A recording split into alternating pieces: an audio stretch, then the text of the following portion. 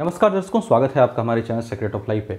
आज की वीडियो धनु राशि वालों के लिए है कि धनु राशि को, और स्पेशली शनि पर है कि शनि धनु राशि वालों के लिए कैसा फल देते हैं जीवन में, शनि को कैसे अनुकूल करें, और अब जबकि साढ़े साथी आपकी खत्म होने जा रही है, सत्रह जनवरी 2023 को जब कुंभ में गोचर हो जाएगा तो कैसा फल अब आपको शनि देंगे। इस पर हम चर्चा करेंगे विस्तार से। इसको ध्यान से समझिएगा, क्योंकि शनि का गोचर जो है, शनि भी आपके लिए बहुत ही इंपॉर्टेंट प्लानिट बनते हैं। तो इसका क्या असर आपके लिए होगा? और ये दूरगामी परिणाम मतलब पूरी ज़िंदगी को लेकर के भी बात करेंगे। और जो कैसे अनुकूल करना है इनको शनि के रिज़ल्ट को, उस पर भी बात करेंगे। और जो ये कुंभ में गोचर कर रहे हैं, साढ़े सात ही खत्म हो रही है, उसका क्या रिज़ल्ट रहेगा, उस पर भी बात करेंगे। सबसे पहले देखिए, धनु लग्न और धनु राशि के आप अगर हैं तो आप एक अच्छे व्यक्ति हैं। आपको एक अच्छा व्यक्ति कहा जाता है, कहा जा सकता है। गुरु आपके राशि के मालिक होते हैं। वैसे तो आप जो होते हैं स्पष्टवादी होते हैं स्पष्ट बोलते हैं बातों को। ज़्यादा लगा बजा के बोलना आपको पसंद नहीं है और थोड़ा भी कोई घुमा के आपको बात बोले, ये बात आपको पसंद भी नहीं आती है। और उसके साथ साथ एंगर आपका है। एंगर बहुत ज़्यादा नहीं होता आप में, लेकिन जितना होता है, जब आता है तो कस के आता है, लेकिन चला भी उतना ही जल्दी जाता है, कूल भी उतनी ही जल्दी हो जाते हैं। और स्पेशली जब आपको अपनी गलती रियलाइज़ होती है तो आप चुप हो जाते हैं। आपका एक प्रॉब्लम है कि आप तुरंत जाकर के सॉरी नहीं बोलते, या अपने आप को झुका हुआ महसूस नहीं करते थोड़ा सा अहंग आप में होता है।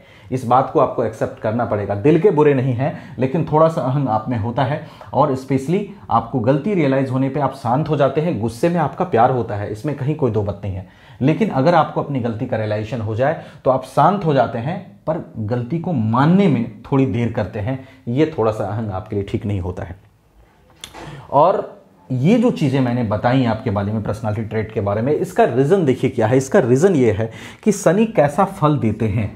ये इस बात को समझने के लिए आपको अपना पर्सनालिटी ट्रेट समझना पड़ता है। रीज़न बिहाइंड दैट कि शनि जब साढ़े साथी चलाते हैं तो देखिए, लग्न से एक घर पीछे फिर लग्न से एक घर बाद गोचर करते हैं। तो सबसे ज़्यादा प्रभाव में किसको लेते हैं? लग्न को, यानी कि इंसान को। तो इंसान को जब ये अपने प्रभाव में लेते हैं तो इंसान को मथना शुरू करते हैं। आपके लिए जो पीरियड रहा है अभी तक का, जो साढ़े साथी का ये पीरियड चला है, ज़िंदगी का ये मोस्ट डिफ़िकल्ट पीरियड रहा है, जहाँ आपको शनि ने काफ़ी तरासा है। काफ़ी कष्ट भी दिए हैं, काफ़ी परेशानियाँ भी दी हैं और कई सारे एक्सपीरियंसेस भी आपको दिए हैं। तो हम उसमें डिटेल में नहीं जाएँगे, कई वीडियोस में आपको ये सब चीज़ें बता चुके हैं। तो जो शनि का रिज़ल्ट आपके लिए होता है, देखिए शनि यहाँ पे सेकंड हाउस और थर्ड हाउस के मालिक होते हैं। सेकंड हाउस हमारे धन का होता है, धन संचय का होता है, पारिवारिक सुख का होता है, कुटुंब सुख का होता है, पैतृक संपत्ति का होता है, इन सब चीज़ों का घर होता है। तो बहुत ही सुख भाव भी, पारिवारिक सुख का भी भाव इसको कहते हैं।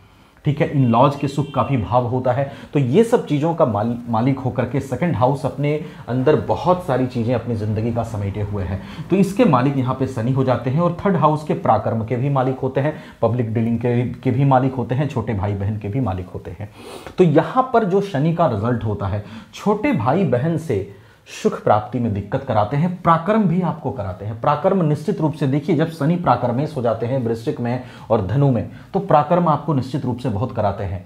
और प्राक्रम कराने के बाद भी कई बार चीज़ें बिल्कुल नहीं देते हैं शनिदेव आपको। लेकिन जब ये देते हैं तो आपके लिए, देखिए, धन भाव के भी मालिक होते हैं। ये धनु वालों को बहुत ऊपर ले जाने की भी संभावना बनाए रखते हैं इस कुंडली में। बहुत ज़्यादा धन संचय की भी संभावना बनाते हैं। लेकिन आप इसको अनुकूल करें कैसे? सबसे पहले, देखिए, जितनी भी चीज़ें आपको शनिदेव ने समझाई हैं। साढ़े सात साल की साढ़े साथी में उसको इंप्लीमेंट करिए। शनि आपके पराक्रम भाव के मालिक हैं, पराक्रम में कोई कमी नहीं करिए। अपने अंदर के ईगो को, अहंकार को बिल्कुल खत्म कीजिए। वो थोड़ा आप में है जब आप नहीं एक्सेप्ट करते हैं चीज़ों को, उसको बिल्कुल खत्म कीजिए। बाकी मैं आपको दिल का बुरा नहीं कह रहा हूँ। आपको मैंने कहा, आप अगर किसी पर गुस्सा करते हैं तो उसमें भी आपके लिए प्यार होता है।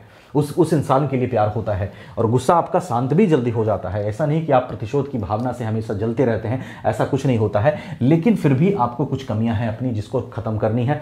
उसके साथ साथ शनि को अनुकूल करने के लिए आप हनुमान जी की आराधना ज़रूर करें, क्योंकि मंगल आपके लिए योग कारक ग्रह होता है।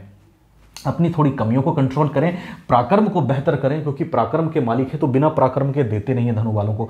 शनि प्राक्रम तो बहुत करवाते हैं स्पेशली साढ़े शनि साढ़े साथी में तो देते ही नहीं है। प्राकर्म पे प्राकर्म होता जाता है सेकंड फ़ेज़ में प्रॉब्लम करते हैं थर्ड फ़ेज़ में भी जाके प्रॉब्लम करते हैं साढ़े साथी में। तो ये सब चीज़ें होती हैं तो प्राकर्म आपको करना है अपने अंदर कुछ पॉजिटिव परिवर्तन लाएँ ईगो को खत्म करें स्वार्थ वाला नेचर थोड़ा सा कम करना है। ऐसा नहीं कि आ, मतलब अपने ज़रूरत के अकॉर्डिंग एकदम लाइफ में चलना है नहीं सही को सही और गलत को गही गलत आप कहते हैं और कहते रहिए वो चीज़ें आपके लिए सही हैं सनी उसको पसंद करते हैं। उसके साथ साथ हनुमान जी की थोड़ी आराधना करिए और प्राकर्म जितना कर सकते हैं करिए धन संचय के लिए शनिदेव बहुत इंपॉर्टेंट प्लानिट आपके लिए बनते हैं। अब है कि शनि की साढ़े साथी आपको खत्म हो रही है। थर्ड हाउस में शनि का गोचर जा रहा है। सत्रह जनवरी दो को। इसका रिज़ल्ट आपके लिए कैसा है? देखिए, सबसे पहले साढ़े साथी का खत्म होना ही अपने आप में एक अच्छा रिज़ल्ट है। अपने आप में एक शुभ संकेत है, क्यों? क्योंकि आपका सबसे पहले आप शनि के प्रभाव से मुक्त हो रहे हैं। अभी मैंने कहा, शनि जहाँ होते हैं, वहाँ से एक घर आगे, एक घर पीछे इफ़ेक्ट करते हैं। तो जब जैसे ही बारहवें घर में आते हैं, आपके आगे आप पर इफ़ेक्ट करते हैं। जब आप पर आते हैं, पूरी तरह से इफ़ेक्ट करते हैं 2017 से 2019 तक हिला के रख दिया आपको। फिर 2020 में जब यहाँ चल रहे थे, एक घर पीछे तो आपको इफ़ेक्ट करते हैं। जब ये यहाँ से बाहर आएँगे, आपकी पर्सनालिटी से संपर्क इनका हटेगा। तब आपको बदलने की जो इनकी प्रवृत्ति है, आप में चेंजिंग लाने की जो प्रवृत्ति है, वो सब खत्म पड़ेगी। साढ़े के बाद आप शनि के कंट्रोल से बाहर निकलते हैं। आपकी पर्सनालिटी सनी के कंट्रोल से बाहर निकलती है।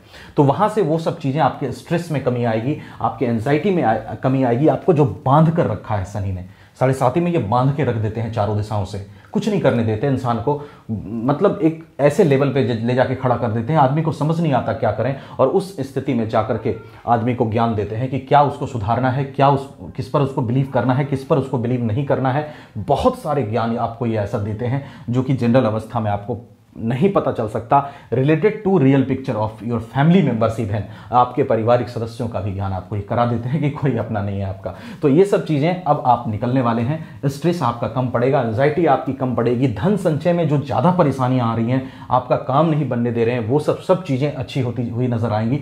साढ़े साथी में जितनी परेशानियाँ हुई हैं, वो सब कम होती हुई आपको सत्रह जनवरी दो हज़ार तेईस के बाद से नज़र आएगी। थर्ड हाउस में बैठे सनी सेकेंड हाउस को बल देंगे तो धन संचय की संभावना को भी बढ़ाएँगे। भाई बहन से रिश्ते बेटर करेंगे पब्लिक डीलिंग आपकी अच्छी करेंगे। प्रभाव और मान सम्मान को साढ़े साथी में शनि एकदम कम कर देते हैं। प्रभाव और मान सम्मान में वृद्धि आपकी दिखाई दे रही है। तो ये सब चीज़ें आपको शनि के गोचर से प्राप्त होती हुई दिख रही है। और उसके साथ देखिए, ये एक गोचरी आधारित व्यवस्था है। इसके साथ साथ बाकी सभी ग्रहों की स्थिति आपकी कुंडली में कैसी है, इस पर भी निर्भर करेगा। कि आपका लाइफ कैसा चल रहा है। शनि की खुद की पोजीशन आपकी कुंडली में कैसी है? बाकी ग्रहों की स्थिति कैसी है? महादशा किसकी चल रही है? अंतरदशा किसकी चल रही है? लगन कुंडली की पोजीशन क्या है? नौमांस कुंडली की पोजीशन क्या है? ये सब मिलकर डिटरमाइन करेगी आपका लाइफ कैसा चल रहा है और चलने वाला, आगे कैसा चलने वाला है। तो एक ठोस डिसीज़न तक पहुँचने के लिए या अपने बारे में और अधिक जानने के लिए या अपनी परेशानी से निकलने के लिए, अगर संभव हो आपके लिए तो कुंडली एनालिसिस भी एक बार ज़रूर कराइएगा। हमसे कराना चाहते हैं, आपको वीडियो डिस्क्रिप्शन में मेल में हमारा व्हाट्सअप नंबर मिल जाएगा, आप वहाँ कॉन्टैक्ट कर सकते हैं। कहीं और अच्छा लगे तो करा हैं। वीडियो लाइक शेयर ज़रूर करिएगा, क्योंकि बहुत कोशिश करता हूँ आपको अच्छे से अच्छी जानकारी देने की, और चैनल को सब्सक्राइब कर लीजिएगा। Thank you so much